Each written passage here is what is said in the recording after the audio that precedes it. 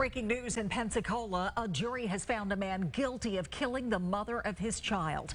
The jury deliberated for about two hours today after hearing several days of testimony in the case against Henry Steiger. News 5's Cody Long is live outside the courthouse downtown. Cody. Yeah, just before 2 o'clock this afternoon, the jury came back and announced that Henry Steiger is guilty of second degree murder. Now, Steiger uh, choked and killed Cassandra Robinson back on February 1st of 2018. And that same day, Cassandra sent a text message to Steiger saying that she was leaving him and taking their daughter with her. She was reported missing later that year in June. And then in July, Cassandra's body was found in a cargo trailer that Steiger was using for storage. It was he was then arrested in August of last year, and today, almost a year later, the jury found Steiger guilty.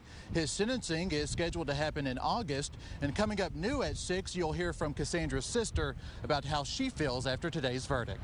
Reporting live in downtown Pensacola, Cody Long, WKRG News 5.